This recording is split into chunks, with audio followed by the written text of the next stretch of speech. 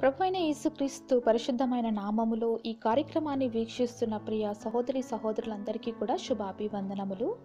చిన్న ప్రార్థనతో ఈరోజు దేవుని వాగ్దానాన్ని స్వతంత్రించుకుందాము. పరలోకమందున తండ్రి నీ బంగారు పాదములకు వందనాలు నాయన. ఈ యొక్క సమయంలో మీరు మాతో మాట్లాడండి. మా జీవితాలని నీ మాటల చేత తృప్తిపరచండి నాయన. నీ మాటలు జుంటి తినే దారుల కంటే మధురమైనవి. నీ మాటల్ని నా మాధుర్యాన్ని మేము చురుకునే కృపనివ్వమని ఏసునామంన ప్రార్థిస్తున్నాము తండ్రి. అమ్మేన్ ఈరోజు దేవుని వాగ్దానము నిర్గమకాండము పదహైదవ అధ్యాయం ఇరవై ఆరవ వచనము నిన్ను స్వస్థపరచు యహోవాను నేనే. Exodus chapter fifteen verse twenty six I am the Lord that healeth thee ఈరోజు ఈ వాక్యం వింటున్న మీలో ఎవరైనా భయంకరమైన వ్యాధితో బాధపడుతున్నారా?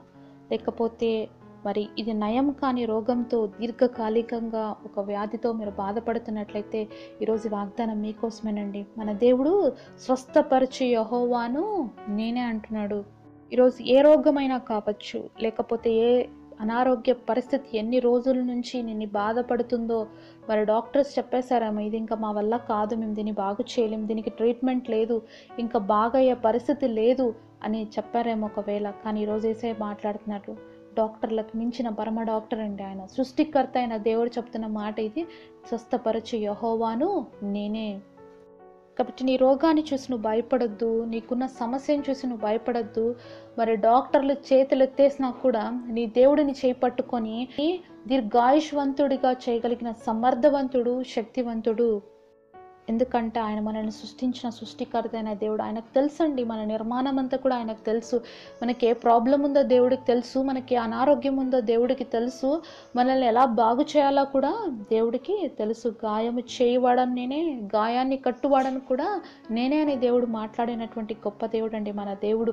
ఈరోజు అదే దేవుడు నీతో మాట్లాడుతున్న విషయం ఏంటంటే ఏ రోగముతో నువ్వు ఉన్నా మరణ పడక మీద ఉన్నా కూడా దేవుడు లేవనెత్తగలిగిన శక్తివంతుడు. మరి భయంకర భయంకరమైనటువంటి వ్యాధి నుంచి నేను విడిపించగలిగిన సమర్థవంతుడు. ఆది దేవుడు ఏసయ్య అనేక మందిని భూమి మీద ఉన్నప్పుడు స్వస్థపరచాడండి. అది మరణకరమైన వ్యాధులు కావచ్చు దీర్ఘకాలికమైన వ్యాధులు కావచ్చు ఎవ్వరూ స్వస్థపరచలేనటువంటి గొప్ప వ్యాధుల్ని సైతం దేవుడు స్వస్థపరిచి విడుదలిచ్చినటువంటి అనేకమైన వాక్యాల్ని మనము దేవుని గ్రంథంలో చూడగలుగును యోహాన్ సువార్త ఐదవ అధ్యాయం ఐదవ వచనంలో మనం చూసినట్లయితే అక్కడ ముప్పది ఎనిమిదేండ్ల నుండి వ్యాధి గల ఒక మనుషుడుండెను. యేసు వాడు పడియుండట చూచి వాడప్పటికీ బహుకాలం నుండి ఆ స్థితిలో ఉన్నాడని ఎరిగి స్వస్థపడగోరుచున్నావా? అని వానిని అడగగా మరి ముప్పై ఎనిమిది సంవత్సరాల నుండి ఒకతను చాలా దీర్ఘకాలికముగా వ్యాధితో బాధపడుతున్నాడండి.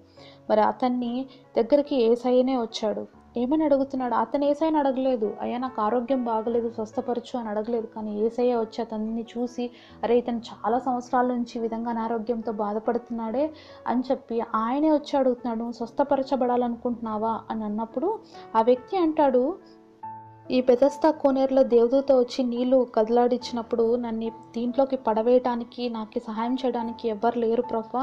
నేను దూకాలని వెళ్తాను కానీ అంతలోపల ఎవరో ఒకరు పడి వాళ్ళు స్వస్థత పొందుతున్నారు. నేనైతే ఇలాగే ఉండిపోతున్నాను అని చెప్పి దేవుడితో చెప్పి తన బాధను చెప్పుకుంటాడు.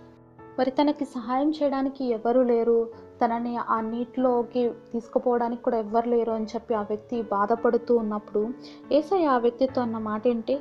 ఎనిమిదో వచనంలో మనం చూసినట్లయితే ఏసు నీవు లేచి నీ పరుపెత్తుకొని నడుమని వానితో చెప్పగా వెంటనే వాడు స్వస్థత నంది తన పరుపెత్తుకొని నడిచెను. చూసారంటే మన దేవుడు ఎంత గొప్ప దేవుడో మరి ప్రతిరోజు ప్రతి క్షణము మనతోనే ఉన్న దేవుడు మనల్ని గమనిస్తూనే ఉన్న దేవుడు మన స్థితిని చూస్తూనే ఉన్నాడు దేవుడు. మన చాలాసార్లు దేవుడు ఎదురు చూస్తుంటాడు నా బిడ్డ నాకు మొరపెడతారా లేదా? ఉన్న పరిస్థితిలో మన దగ్గరకు వస్తారా రారా? అని దేవుడు చూస్తుంటాడు. మనం ఏంటి? ఎంతసేపు నా పరుగులు తీసుంటాం హాస్పిటల్కి ఆ టెస్ట్లు ఈ టెస్ట్లు డాక్టర్ ఇట్లా అన్నాడు అట్లా అన్నాడు. అనేక మందితో డిస్కషన్స్ ఏ హాస్పిటల్ మంచిది? ఏ డాక్టర్ మంచోడు? ఏ మెడిసిన్ తీసుకుంటే బాగవుతుంది? ఏం డైట్ తీసుకుంటే బాగవుతుంది? ఎలా చేయాలి? ఇలా చేయాలి? అని మనం విస్తారంగా అందరితో మన సమస్యను చెప్పుకుంటూ ఉంటాము మన బాధలు వేరే వాళ్ళతో చెప్పుకుంటుంటాం. కానీ ఏసై దగ్గరకు మాత్రం రావు కదా. మరి ఏసై దగ్గరికి రానంతసేపు మన రోగం ఎలా తగ్గుతుందండి? దేవాది దేవుడు కదా మనల్ని స్వస్థపరిచేది. చాలాసార్లు డాక్టర్లు కూడా చెప్తారండి మా చేతిలో ఉన్నంత ప్రయత్నం మేము చేస్తామండి తర్వాత మేము ఏం చేయలేము అంటారు. ఎందుకు?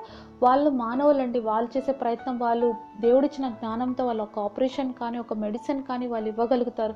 కానీ ఆ రోగాన్ని వాళ్ళు బాగు చేయలేరు కదా. ఎవరు బాగు చేసేది? దేవాది దేవుడు. నువ్వు ఎన్ని మెడిసిన్స్ తీసుకుంటున్నా ఒకవేళ నీ ఆపరేషన్ రికవరీ కావాలన్నా నువ్వు ఆపరేషన్ చేసుకున్న తర్వాత నువ్వు బాగా అవ్వాలన్నా నీ పరిస్థితి ఏదైనా సరే అది మార్పు చెందాలి అంటే అది ఎవరు చేయాలండి? దేవుడు మాత్రమే చేయాలి. మనం ట్యాబ్లెట్ తీసుకుంటున్నాం. స్వస్థత ఎక్కడి నుంచి వస్తుంది? మరి దేవుడి మీద విశ్వాసం ఉంచినప్పుడు మనం తీసుకుంటున్న ట్యాబ్లెట్ ద్వారా మనకి దేవుడు విడుదల అనేది ఇస్తాడు. కాబట్టి విశ్వాసం ఉంచండి. దేవుడి పైన విశ్వాసం ఉంచండి. మనుషుల పైన కాదు. మరి ట్యాబ్లెట్లు పని చేయకపోవచ్చు. లేకపోతే మీరు తీసుకుంటున్నటువంటి ఏ ఇంజెక్షన్స్ అయినా లేకపోతే ఏ ట్రీట్మెంట్ అయినా మీ పైన వర్కౌట్ కాకపోవచ్చు. కానీ ఏసై చెప్తున్నాడు. ఏసై ఒక్క మాట చెప్తే చాలండి. ఆ రోగం విడిచి వెళ్ళిపోతుంది. ఏ విధంగా అయితే కోనేటి దగ్గర పడినటువంటి ముప్పై ఎనిమిది సంవత్సరాల నుంచి ఎదురు చూసిన తన వ్యాధి మరి ఆ కోనేట్లో పడాలన్న బాధ మరి అతన్ని అక్కడే ఉండేటట్లుగా చేసింది కానీ అతనికి ఏమాత్రం విడుదల అనేది రాలేదు. కానీ ఏసయ్యని అతని దగ్గరకు వచ్చి అతనితో అడిగి మరీ నువ్వు స్వస్థపరచబడ కోరుతున్నావా అని చెప్పి అడిగి మరీ స్వస్థపరిచాడండి. వెంటనే లే నీ పరిపెత్తుకొని నడువు అంటేనే ముప్పై ఎనిమిది సంవత్సరాల నుంచి ముప్పై ఎనిమిది సంవత్సరాల నుంచి పడుతున్న వ్యక్తి లేచి నడిచాడు. మరి ఈరోజు నీ పరిస్థితి ఏదైనా సరే ఎంత భయంకరమైన సిచ్యుయేషన్లో నీ అనారోగ్య పరిస్థితి ఉన్నా కూడా ఏసఐ స్వస్థపరచగలడండి. మరి ట్రీట్మెంట్స్ మెడిసిన్స్ నీ మీద పనిచేయకపోయినా దేవుని రక్తము నీ మీద పనిచేస్తుంది. దేవుని విడుదల నీ మీద పనిచేస్తుంది. కాబట్టి నువ్వు ఏసై దగ్గరికి రా. విశ్వాసం కోల్పోవద్దు నిరుత్సాహపడొద్దు. నన్ను ఎవరు విడిపించలేరు. నాకు నా బ్రతుకు అయిపోయింది. ఇంకా నా పరిస్థితి ఇంతే. నేను మరణించాల్సిందే అని అనుకుంటున్నావేమో. కానీ లేదండి. మరి ఈ వ్యక్తిని ముప్పై ఎనిమిది సంవత్సరాల నుంచి అదే నిరాశతో బతుకుతున్నాడు. అదే కొనేటి దగ్గరే పడి ఉన్నాడు. అలాంటి వ్యక్తికి విడుదలిచ్చిన దేవుడు ఈరోజు నీ జీవితంలో కూడా నీకు గొప్ప విడుదల చేసుకోవాలని దేవుడు ఆశిస్తున్నాడు. అందుకే ఈరోజు ఏసఐ నీతోనే మాట్లాడుతున్నాడు. ఈరోజు ఏసఐ నిన్ను స్వస్థపరచాలనుకుంటున్నాడు. మరి ఏసఐ చెంతకు నువ్వు రావాలి. ఏసైని అడగాలి. ప్రభా నేను అనేక సంవత్సరాలుగా బాధపడుతున్నాను. అది ఏ వ్యాధి అయినా సరే అది ఏ బాధ అయినా సరే ఏ గాయమైనా సరే ఏ నొప్పి అయినా సరే ఏదైనా సరే నువ్వు దేవుడి దగ్గరికి వచ్చినట్లయితే తప్పకుండా దాని నుంచి విడుదల అనేది ఏసఐ నీకు ఇస్తాడు. కొన్నిసార్లు కొన్ని వ్యాధులకి ట్రీట్మెంటే లేదని చెప్పేస్తారు డాక్టర్స్ కొన్నిసార్లు ఇంకా మా చేత కాదని చెప్పేస్తారు. కొన్నిసార్లు మేము ఈ ఆపరేషన్ చేయలేము ఇది సక్సెస్ అవ్వదు అని చెప్పేస్తారు. కానీ డాక్టర్స్ ఏం చెప్పినా మరి ఇవన్నీ కూడా ఎంత అసంభవముగా నీ జీవితంలో కనిపించినా ఏసయ్య సమస్తమును చేయగలిగిన సమర్థవంతుడు అసాధ్యమైనవి సైతం సాధ్యము చేసి చూపించినటువంటి గొప్ప దేవుడు మన దేవుడు.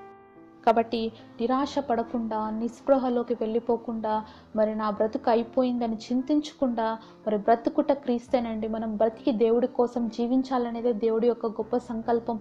మనం అనారోగ్యంతో ఉండాలని కానీ మనము వ్యాధిగ్రస్తులుగా ఉండాలని దేవుడు ఉద్దేశం కాదు. మనం ఎప్పుడు కూడా మంచి ఆరోగ్యముతో హ్యాపీగా దేవుని సేవించే బిడ్డలుగా దేవుడి కోసం ఈ లోకంలో జీవించగలిగిన బిడ్డలుగా ఉండాలనేదే దేవుని గొప్ప సంకల్పం. ఆయన ఎవరిని కూడా వ్యాధితో చూస్తూ ఊరుకుంటే దేవుడు కాదు. కాదండి. ఎందుకంటే మనం చూస్తున్నాం కదా వ్యాధిగ్రస్తుని దగ్గరికే వచ్చి ఆయన స్వస్థపరిచిన దేవుడు. మరి నిన్నెలా ఎలా విడిచిపెడతాడండి? వ్యాధి ఉన్న ఈ పరిస్థితిలో నిన్ను విడిచిపెట్టే దేవుడు కాదు ఈయన. తప్పకుండా నిన్ను స్వస్థపరచాలని ఆశపడుతున్నాడు. అయితే ఏసై దగ్గరికి నువ్వు రావాలి. మరి ఏసై అడిగినప్పుడు ఆ వ్యక్తి అన్నాడు కదా నేను స్వస్థపరచబడాలనుకుంటున్నానని. నువ్వు దేవుడితో చెప్పు ప్రభా నేను ఈ వ్యాధి నుంచి విడుదల పొందాలనుకుంటున్నాను. ఈ భయంకరమైన పరిస్థితిలో నుంచి నేను బాగవ్వాలనుకుంటున్నానని ఒక్కసారి నువ్వు ఏసైతో చెప్పు. తప్పకుండా ఈరోజు నీకు విడుదల అనేది ప్రసవిస్తాడు మరి ఈ వాగ్దానం దేవుడు నీ కోసం ఇచ్చినట్లయితే నువ్వు నమ్ముతున్నట్లయితే మరి నాతో పాటు కలిసి ప్రార్థనలు ఏకీభవిస్తారా? పరిశుద్ధుడైన తండ్రి నీ బంగారు పాదములకు వందనాలు. అయ్యా ముప్పై ఎనిమిది సంవత్సరాల నుంచి దీర్ఘకాలికంగా వ్యాధితో బాధపడుతున్న ఆ వ్యక్తిని ఒక్క మాటలో స్వస్థపరిచావయ్యా. మరి రోజు ఈ మాటలు వింటున్న ఏ బిడ్డతో భయంకరమైన వ్యాధితో బాధపడుతున్నాడు? నజరయుడైన యేసు రక్తాన్ని బిడల మీద ప్రోక్షిస్తున్నాం. నజరుడైన యేసు రక్తాన్ని ప్రభా మరి విడుదల చేయండి. నీ బిడలకున్న ప్రతి వ్యాధి నుంచి ఏసునామలో విడుదలిచ్చి స్వస్థపరచు యహోవాను నేనే అన్నావు. ప్రతి బిడ్డ కూడా ప్రతి వ్యాధి నుంచి విడుదల పొందుకొని సంపూర్ణ ఆరోగ్యవంతులుగా నేను స్థుతించే కృపనివ్వమని ఏసునామమున ప్రార్థిస్తున్నాము. తండ్రి అమెన్ ఈరోజు బర్త్డే అలాగే వెడ్డింగ్ యానివర్సరీ సెలబ్రేట్ చేసుకుంటున్న మీ అందరికీ కూడా wish you happy birthday and happy anniversary. God bless you.